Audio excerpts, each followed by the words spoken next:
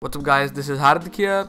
So this here with me is my Google Nexus 4 and uh, we finally do have a Lineage OS 15.1 ROM for our Nexus 4.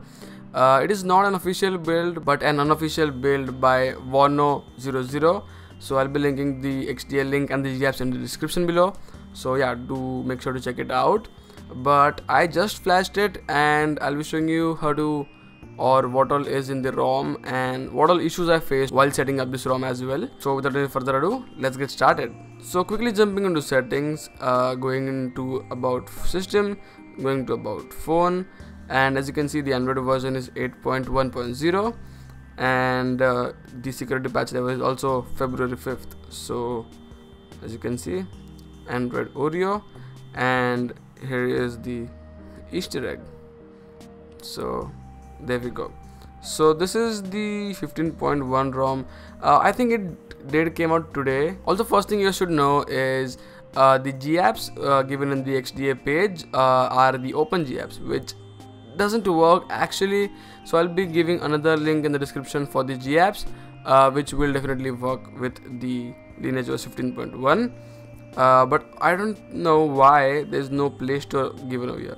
But we do have a browser so we could download the apk or we could transfer it from our pc uh, so jumping into settings real quick I already made a video for the Nexus 5X as well uh, stating all the new features on the Lineage OS so I won't be going into that deep but uh, we have the battery percentage and stuff adaptive brightness as you can see uh, all the basic things that a ROM provides usually then going down we have display.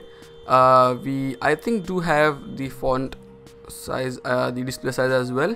So it is default if I reduce it by 1 it goes to small which actually suits this device well. Uh, so yeah double tap to sleep double tap to wake and everything. Then if you go to developer options uh, let's see the build date. I don't know why the Google stop uh, comes popping up. Sorry build number. So tap it seven times. Going back we have developer options. Uh, we have advanced restart. We have android debugging and root access to adb only. Uh, there we go. So that is a good thing. So that's there. Then we have buttons. So again customize the power button and the volume rockers as well as the nav bars so that's there. Then you have status bar. Again quick pull down from the right. Uh, we have system icons which is basically the system UI tuner.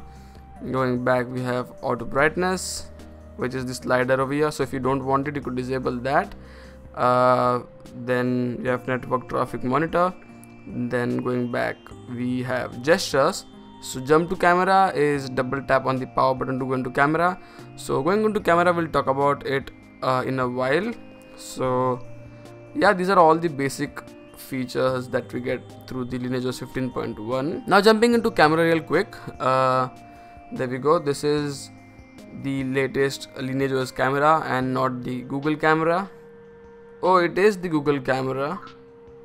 So okay, but when I did flash it on my Nexus 5X, it was the uh, Lineage OS camera. But I think because it is an unofficial build, uh, we have the Google camera.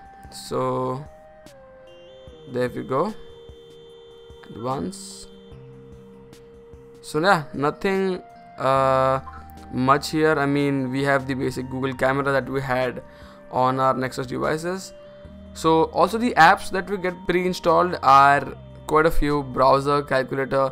So these are none of the google apps. These are all the lineage os app itself.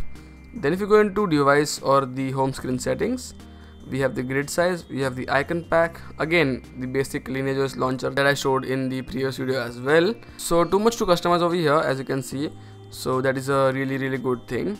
So uh, now I'll talk about few issues that I faced or went through while installing this ROM uh, first thing is the open GApps did not work at all. The nano GApps didn't work the pico GApps didn't work. I, I tried every GApps uh, none of them work. Open GApps tend to show uh, the uh, insufficient storage error. So I flashed another GApps which I'll be linking in the description below. So for you to flash as well.